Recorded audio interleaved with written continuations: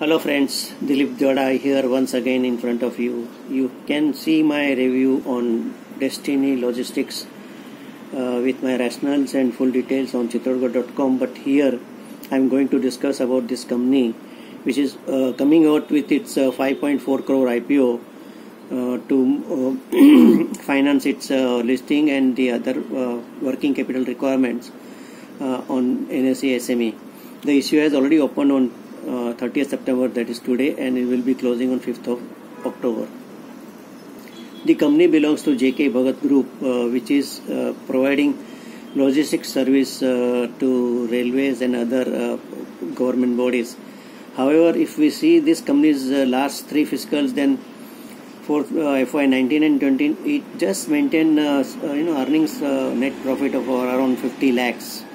But for FY21 it has posted a uh, higher turnover as well as net profit of about 3 crore which is raising eyebrows.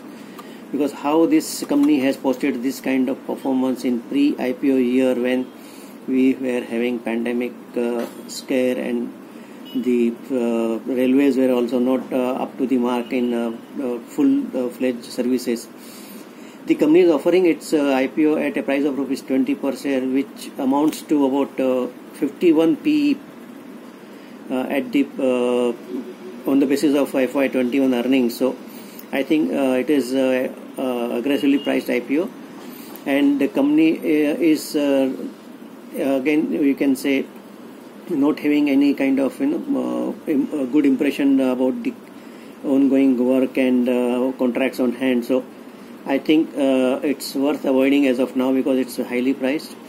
You may buy it uh, post listing at a discounted rate uh, if it is available at that time because the uh, company uh, is not having any you know, impressive uh, track record so far.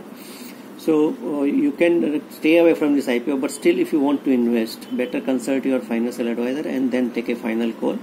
Because ultimately it's your money and you have to decide on that. Thank you